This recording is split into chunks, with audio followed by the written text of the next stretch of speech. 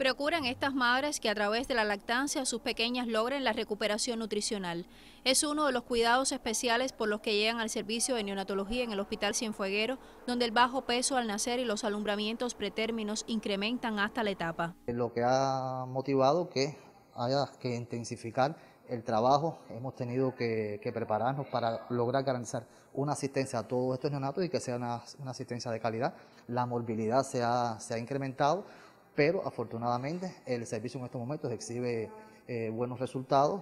Actualmente solo asisten a un neonato en la terapia intensiva con favorable evolución, mientras permanecen vacíos tanto el cubículo de cuidados intermedios y los aislados en una etapa de relativa calma para este servicio, aun cuando las alertas epidemiológicas mantienen en vigilancia a profesionales ligados al trabajo con maternas y puérperas cienfuegueras. Desde el principio se extreman las medidas de asepsia y antisepsia con estos bebés, debido a que estos bebés son bebés muy pequeños, pretérminos, muy bajos pesos.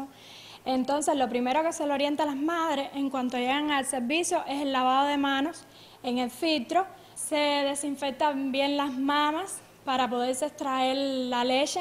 Lo mismo en el servicio antes de dársela a las bebés en las incubadoras que en el banco de leche. Los bebés que se han diagnosticado con, con COVID, que han sido afortunadamente pocos, no han presentado ninguna complicación y se han diagnosticado precozmente y lo que ha logrado un aislamiento y que no haya que lamentar ninguna disfunción, en este caso por parte de, ningún recién nacido. Hemos tenido madres con, con, dengue, madres con COVID, pero que han evolucionado favorablemente y los, los recién nacidos no han presentado ninguna complicación.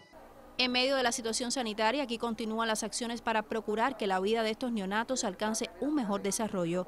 Han sido el banco de leche humana y la labor de este colectivo vitales para su recuperación en breve tiempo. Me gusta la a medida porque siento que ve que de esa manera le estoy alimentando, le estoy ayudando a crecer. Un vínculo imprescindible para garantizarles los nutrientes e inmunidad necesarios, de ahí que estas madres valoren tal entrega a favor de la salud y el bienestar de sus pequeñas.